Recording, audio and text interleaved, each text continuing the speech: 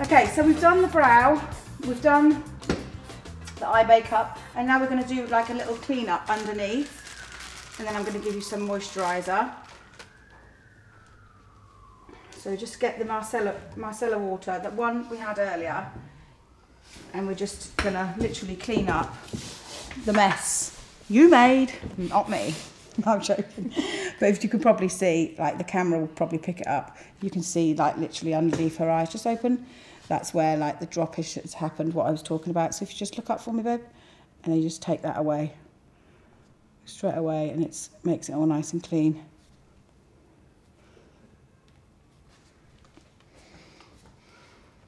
And then I'm going to add some moisturiser. You said you, you, you wore my moisturiser, yeah? Daily? Yep. Yeah, one with an SPF as well. Good. It's important. Mm. So I'm just going to literally plop the moisturiser all over the head. All over your forehead, down the nose, down the side of the face. Nice circular motions. Never drag your skin down. Don't ever put moisturiser on and like this. You always want to go up. Always go upwards. Keep the skin up and tight. By doing this as well, you get the skin, the blood flow moving around the skin, then the skin's elasticity literally pops through rather than being sort of dull. You move the blood flow around the face basically. Mm. That's why you tend to get that dark circles because obviously you've got a pocket here and so the blood sits in the pocket mm. and if you don't move it, it becomes deoxygenized and therefore the blood becomes darker and the skin is thinner and then it shows through, which is the dark circles. Do you use an eye cream? Yeah, I try to, yeah. But I never get rid of those dark circles. They're a bugger, aren't they? Mm. I like the science bit though, thanks for that. Yeah, so it's just basically the, the, the blood down, sitting in the pocket of the, of, the, of the socket of the eye. And you literally, you know, if it's not moving, blood goes dark. And then um, shows through the skin. Okay, so we've done that now. We're going to do some under eye concealer. Again, this is what you said, no? This was like one of your things. Yeah, this is something I am interested in. So you just take a little bit of concealer. I think you need to use, like some people like can get away with, just open babe. Some people can get away with using like, you know, like a highlighting a highlighting concealer, but for you, this is probably one of your areas where you're sort of most problem areas is. Mm. So you need something a bit thicker, a bit heavier, just to like, you know, for that extra bit of coverage. So you don't, wouldn't be really beneficial for you to use a light reflector because the light reflector is not going to give you any coverage. Um, you need just a bit more, a bit heavier, but you don't want it too, um, too thick mm. because then what will happen is it'll go, it's quite drying if it gets thick. And then once it's on the skin, it kind of like makes the skin more, you know what I mean? It sort of crumples a bit. Yeah. So we're just going to put the concealer all the way under the eye. Does that feel all right? Yeah. You said, yeah. I know, it's getting close to my eye, but it's fine. Yeah, it's fine. I'm not going to poke you in the eye she says as she pokes her in the eye. No, I'm joking. No, I'm joking. Um, and then what I would use is your finger mainly. So you can literally apply the actual um, concealer um, with a with a brush. I normally tend would tend to use a brush because I feel like if you're using a concealer just straight from your finger onto the under eye, I feel like the transfer from the, the finger is not you know, you need to place it. You need to place the concealer and then tap it in. So you kind of tap it under the eye as well. So you kind of like mush it in. If you start with it on the finger, you're just transferring it. So it's not actually sitting right. So you can just blend that out nicely now with your finger. Go all the way up. And you just literally keep tapping it. Does that feel all right? Mm -hmm. Don't feel like I'm going to poke you in the eye. Yeah? So again, you need something a bit thicker than a, than a highlighter under the eye because that's your problem area. Mm. and that's what you say you suffer with. Do you say you use a night cream? Yeah, I do uh, use all sorts of creams, but See, so you're really good with your skincare, but not so much of the aftercare. yeah, I don't kind of do more than that. Yeah. But do you feel like now, like now you've, you know, you're, you will start to just do a little bit more? Yeah, it's it's really interesting all the stuff you've told me already. It's, I'll uh, definitely try a few more things at home. Obviously, a few more goes with the mascara one before I take Well, yeah, public. because that ended up on your nose, love. yeah. Yeah. Well, I'm going to give you the mascara wand back in a minute. I'm going to see how you're going to get on with the bottom lashes. That's that could be fun and games, couldn't it? right. Okay. Now, I quite like um yeah I quite like all the um the CC and the BB creams, but you're not going to get as much coverage there. So if you want a bit more, you know that's literally it's just a tint within a moisturiser. Um, but obviously with a bit of base, you're going to get more coverage. And again, I'm using a flat foundation brush just to apply the foundation. And again, we're just going to, again, nice and light and soft. You don't want to overload your skin. There's no point using the back of your hand because the back of the hand has different skin tone to your face. That's what really annoys me when people are like, well, let's just try that foundation. Well, why are you putting it on your hand? Because the foundation's not going to go on your hand. Why don't you try it on your face where it's actually going to go? Do you know what I mean?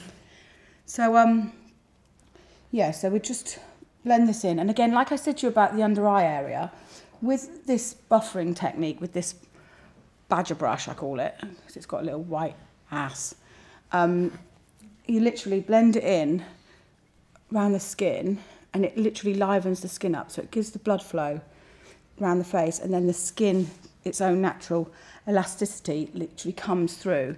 So you're actually shining through your own skin rather than masking masking anything like we like we, I told you about the under eye area about the pockets of blood sitting in the socket. Go for the um bottom lashes. Do you want to do it? Do you want to have a laugh? You Why trust me not to ruin the rest of it again. Do you want me to do one eye? You do the other. Okay, yeah, See show me we how go. it's done. See how I'm going with that.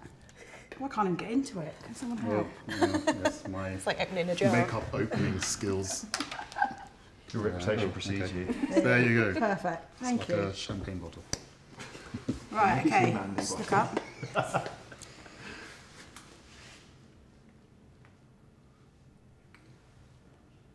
Again, if, just let me know if you feel like your eye's going to water. How's that feel? Thank I'm you. stabbing you in the eye? No, it's a very light touch. Thanks. Right, now, do you think you go on the go? Yeah, we'll try. I've shall given you the good eye. we? Shall I get a- You've got yeah. the good eye. What's the good eye? Oh, it's the more awkward On the- one. on the that right, yeah. one's the awkward mm. eye, you see? Oh. So that one's where she got it Less up her likely to stab myself in the face. Right, go like nice and careful. There you go. Oh, there you go. That's it. Why do we always pull that face? Yep. The mascara. It's fun, isn't it? I don't know. We all do it though, don't we? Yeah. You do Yeah. Yeah, I do it all the time. Might actually yeah. put it on. All the time. they Yeah, all the time. you've done a really good job there. Yeah, I only poked myself in the eye once. Good job I wear contact lenses, isn't it? There you go. Boom. Done. Done. This iridescent powder, putting it in the inner corner, won't necessarily make your eyes look whiter. It just makes them more pop and open. She's got the lighter colour there, so it sort of opens that inner corner. So it's right in there where the where almost like the smallest part of your eye would be. Then you're kind of like lifting that bit open there.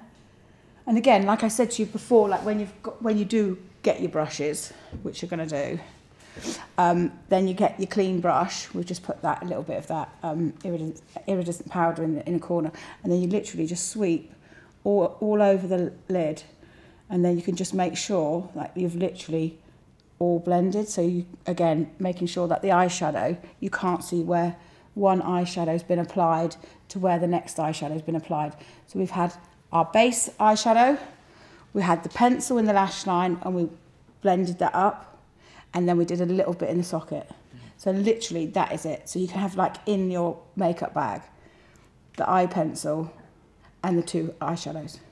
And you've got your mascara, and you've already you're already good at your brows anyway. So you can just fill them in a little bit, like we said. Again, remember, sisters not twins. And then I'm going to give you a little bit of powder, and then I'm going to give you a bit of lips. And then again, did you say you wear a no no lipstick? No, I don't really know. No. Um, I'm going to give you a really nice soft colour so you don't.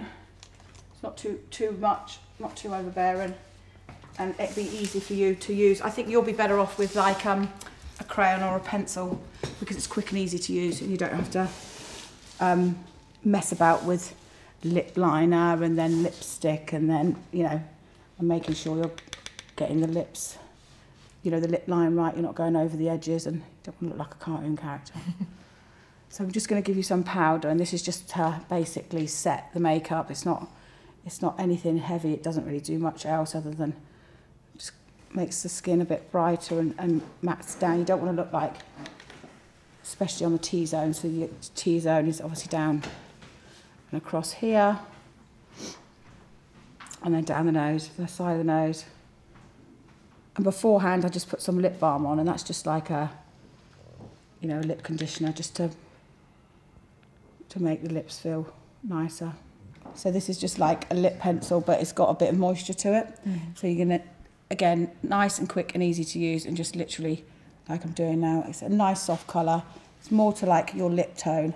So it's just enhancing your lips rather than actually giving a statement. Do you know what I mean? So you literally just blend again, make make sure you don't go over the lines, um, and just just just fill in your own natural own natural lip because you've actually got really nice lips, you know. Really? Yeah, you actually you have.